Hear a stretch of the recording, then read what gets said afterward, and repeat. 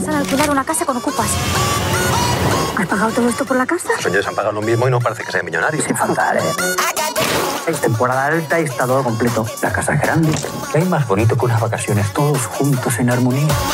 Si parecen majos. El charcutero y su mujer todavía. Buenos días. Y a los otros. ¡Alonso!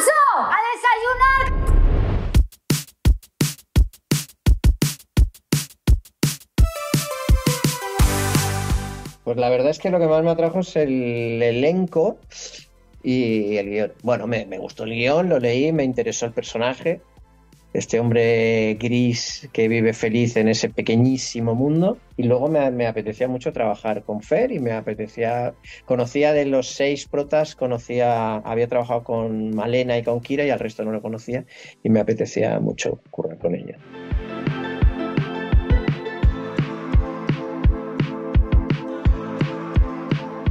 Bueno, los dos son, tienen un negocio, uno es pescadero y el otro es salchichero. y los dos venden embutidos y los dos aman profundamente eh, su trabajo, ¿no? Entonces, en ese sentido, pues sí, hay una conexión. Lo que pasa es que son claves, son, son, funcionan distintos, son una comedia y mucho más histriónica y donde el personaje es más de un personaje de cómic, ¿no? Que es capaz de electrocutar a su vecino porque piensa diferente a él, ¿no? Y en este caso es un personaje mucho más naturalista, ¿no? El, personaje de la, de la película, ¿no? Que, sufre pues porque la hija no, no le pase nada, que el novio de la hija que no sea una mala persona, porque la mujer, eh, bueno, que sufre por, por, por- por- el día a día, mucho más, eh, mucho más eh, naturalista en general.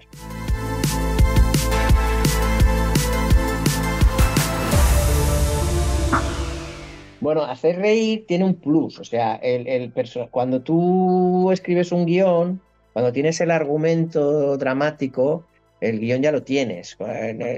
Cuando, cuando tienes la escaleta, ¿no? Por decirlo de alguna forma, cuando tienes una, el guion de una comedia, luego hay que dialogarlo y el diálogo es lo que te da eh, esa- ese plus de comedia, ¿no? Y en el caso de la interpretación, pues, pues un poco parecido.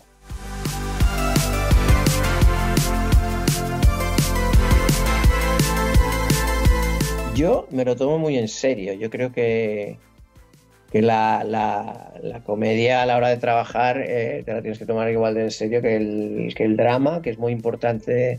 El guion, bueno, es fundamental el, el- el guion. Y, y no sé, yo me tomo tan en serio a la hora de trabajar el drama como la comedia. No, no distingo uno de otro, ¿no?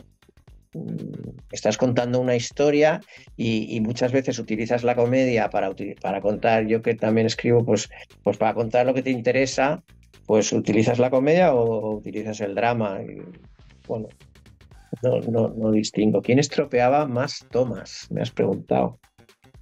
Bueno, ¿sabes qué pasa? Que cuando tú no conoces a un actor, eh, al principio no puedes evitar mirarlo como público. Entonces yo con Kira y Malena ya he trabajado. Con los otros cuatro, no. Entonces, lo que sucede es que al principio, pues te ríes más con ellos. O sea, yo con Roberto, que tengo bastantes secuencias, no, no había currado nunca y me hacía mucha gracia. Entonces, al principio, pues te sales un poco del personaje y te da la risa más. Sí, sí.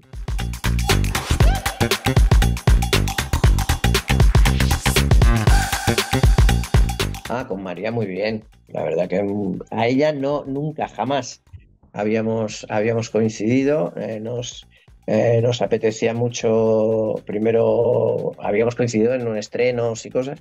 Primero hablar y, luego ensayar entre nosotros. Quedamos al margen del director para preparar el, el personaje. Ella se lo toma, yo me lo tomo en serio, ella se lo toma más en serio todavía. Quiero decir que yo creo que trabajamos bastante parecido en ese sentido, creemos, somos muy partidarios de ensayar, hay actores que no les gusta tanto ensayar y que prefieren la espontaneidad del momento, no es el caso ni de él, ni de ella, ni mío.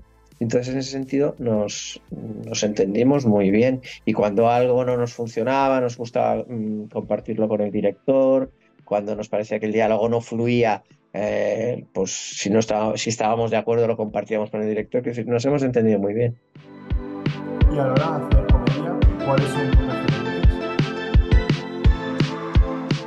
Pues mi referente. Mira, yo a la hora de hacer comedia, lo, que más me importa es que, es, que la comedia sea un reflejo social y que no esté basada en la chorrada y en, el, y en la nada. O sea, me gusta eso, utilizar la comedia para contar cosas que me importan. Mis referentes, pues Woody Allen es para mí un top absoluto porque habla de sus problemas personales a través de la comedia y, creo que lo hace eh, francamente bien.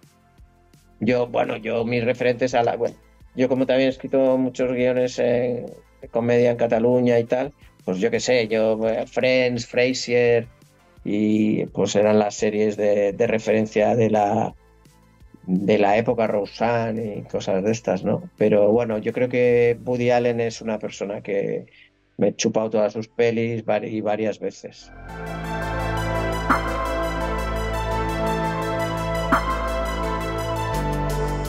Bueno, yo creo que la comedia te ayuda a desconectar de la realidad.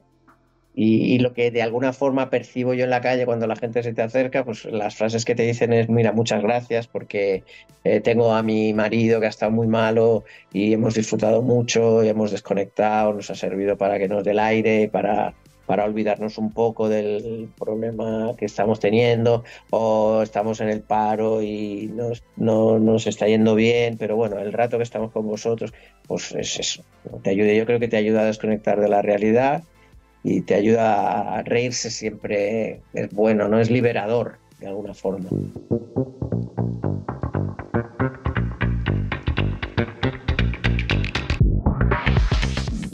Bueno, hombre, hay mucho del actor en, la interpretación de, lo que tienes dentro y tú eres ya consciente de lo que transmites.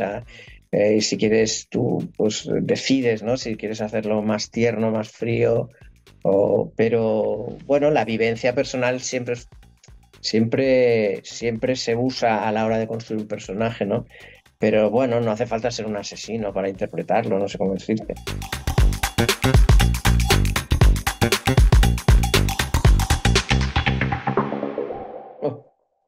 Pues con muchos, yo qué sé, me gustaría coincidir con Javi Cámara eh, o con Javi Gutiérrez, eh, no sé, y con muchos más, muchos más. Lógico marcar una división.